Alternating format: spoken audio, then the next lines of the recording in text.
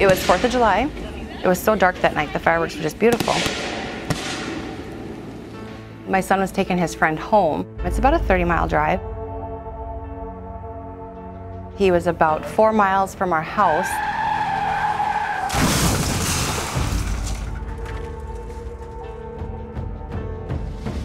He ended up hitting a cow first and then a bull.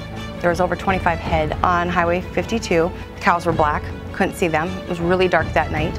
Brought the car to a complete stop. The airbags immediately deployed and made this safety cocoon inside the Trax.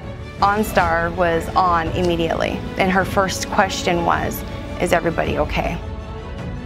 The kids were 100% safe, the airbags, the seat belts, the crumple zones worked like they're fine. They're so fine. It's just amazing because everybody was so well protected and OnStar was on so quick. Knowing that somebody was on that speaker talking to my kid and his friend, somebody else's kid, right away, somebody to be mama before mama was there is very comforting to me. It's unfortunate that it had to be used.